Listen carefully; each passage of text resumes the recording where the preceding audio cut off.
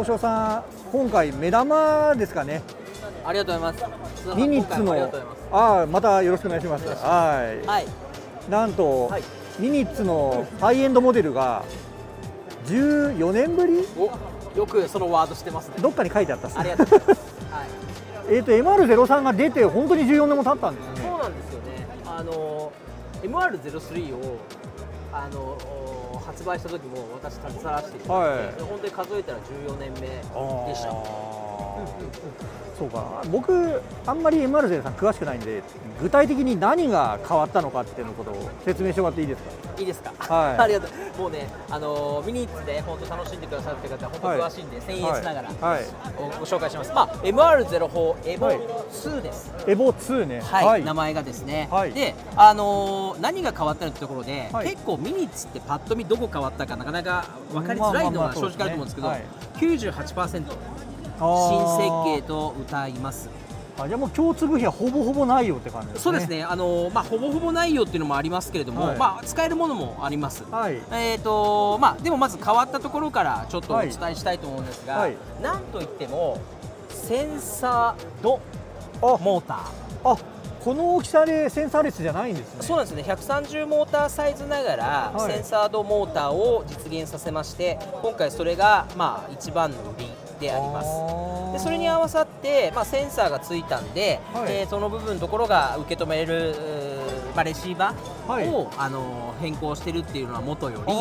一番ね変わったところで言うとあのまあ、ミニッツってご存知の通り、まあ、サーボと基板が一体にしたシャシーに埋め込められたものじゃないですか、はい、実際ここは5枚のギアがあのピニオン、まあ、ごめんなさい、えーと、ギアを介して、はい、えー、サーボ機能してるんですが、はい、そこのところのポテンショメーターが、すごく変わりました。はい、なんであのその辺の部分のところが、まあ、一番電子デバイスを変更したところが大きいんですが、はい、まあ、それ以外のところも写真も変わったのであの、まあ、98%変わったというふうに見えます。まあ、基本は割と似てるっちゃ似てるですね。構成的にはね03から。あのそうですね。あのまあ、どういう話し方がいいか分かんないですけど、うん、結構やっぱミニッツって、まあ、正直言うと設計できる範囲が割と大きいラジコンに比べては狭いって言えると思うんですね。あのー、まあ多分須田さんの見られてる番組の方だったので、はい、まあこの、えー、スリーポイントサスって言われてる12分の1のところの設計思想っていうのはそのまま受け継いでる形になってるんですけれども、はい、それでも変えれるとこいっぱい変えました。で、えー、何が言いたかったっていうとどんな話し方がいいかな。そう例えばここうですね。あのー、多分ミニッツってあのいろんな RC カーがある中でも最もグリップが高いっていうふうに僕は言えると思います。いろんな外ラジがあったりとかインドアの持ちがあってスポンジタイヤがあったりするんですけどミニッツって本当すごいあのグリップが発揮する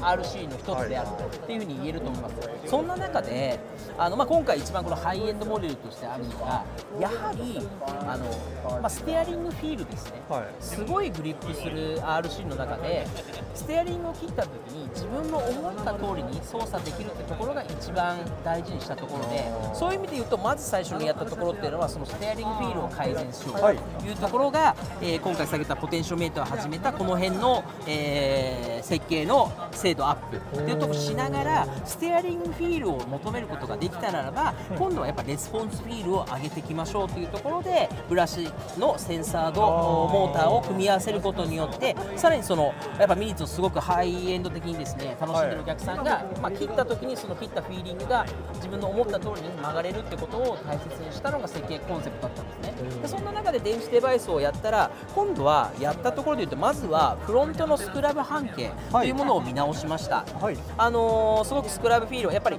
まあ、実写となんか僕ちょっと、まあ、専門的に言えるかどうか分かんないですけど、はい、まあ、実写ってやっぱりホイールインのところにステアリングの、まあ、キングピンがあったりすると思うんですけど、ラジコンって外にありますよね、でそうした時にやっぱスクラブ半径の適正化することによってかなりそのコーナーのスサフィール変わると、そうすると電子デバイスを変えました。今度はフロントのステアリングフィールを変えました。そういったところで合わさったところでやっぱ回れる回れるっていうふうにお客さんがおそらく感じられるだろうなっていうふうに思います。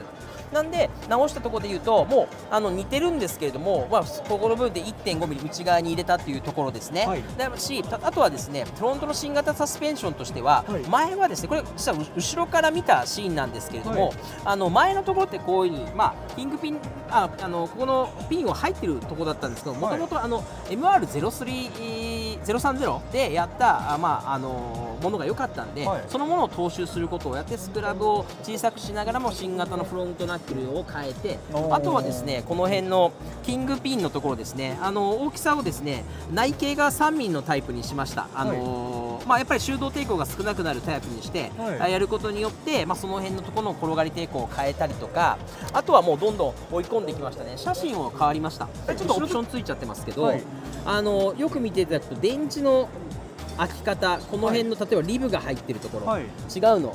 分かりますよね。シャシーも違うんです、はいはいはい、あのこれでもですねやっぱり、えー、数ミリですね電池を、まあ、内側にて低重心化させることにですねマスの集中化を図ってですね、まあ、フロントセクションやりながら、えー、シャーシー自体の重量バランスを変えてそしてリアモーターのところも、まあ、最後の3種類ある中でこちらの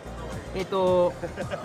MM とそれからこちらの、えー、MM2 で違うんですけれども、はい、あのモーターもあのできるだけ、えー、写真のところに追い込んで低重心化を図るというものをやったりとかすることをしました。しだから前のこの03のこの例えば、あのー、電池のホールドするところもこれも実は新設計です、はい、になっています。でここで見ていただくとこれちょっとオプションついちゃってますけど、はい、まあ、スロットルとしてはセンサードから入ったところの受け、はい、えー、それからジャイルとかの受けあとは LED がつける受けとか、はい、3のスロットルが入ったりしますんでこの辺は新設計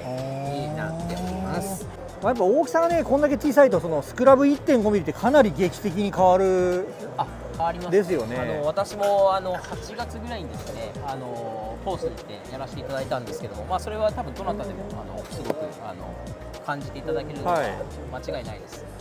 はい、あじゃあまあこんだけ違うとこれはまあ走りも違いますわね。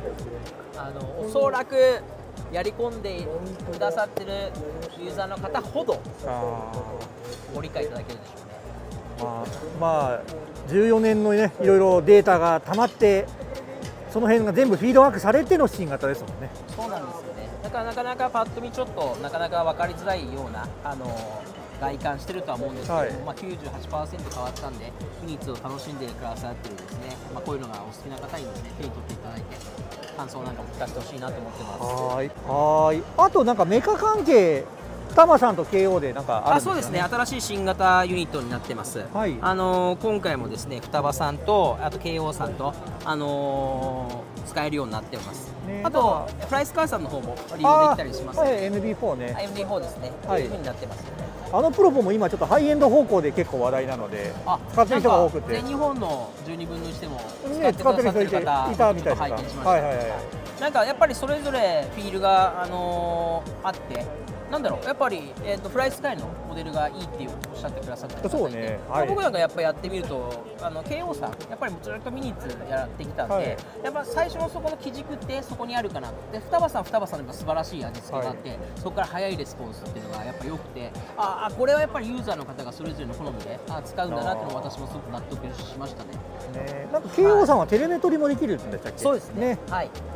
えー、じゃあまあ本当にミニッツで、まあ、ハイエンドというか、まあ、ミニッツカップとか本当に、走行ガンガン楽しんでる方向けのそうですね。あとはやっぱりあの地元のサーキットで、はい、あのすごくあのその辺のミニッツをですねあのいろんなボディに合わせて、えー、走りのテイストをあやられてる方であれば必ず分かるっていうものになってますね。いやじゃあまあこのこういうね連想品からもうメカニカルまで本当に98%変わってるってことなんで、そうなんですよ。だから今回何変わったんですかっていうとやっぱりちょっとまあ言葉、まあ、トータルバランスが一つ高い次元に上がったっていうふうに言えるかなというふうにしてちょっとキャッチをつけました。はあ。いやじゃあちょっとこれかなりね期待してるミニッツファンの方多いと思いますんで。ぜひよろしくお願いします、14年ぶりのねハイエンドモデルのモデルチェンジということで、はい。ミニッツ MR04 エボ2の内容をね矢島さんに説明していただきました、ありがとうございました。じゃあ発売楽しみにしてますので、はい、よろしくお願いします。はいありがとうございました。ありがとうございました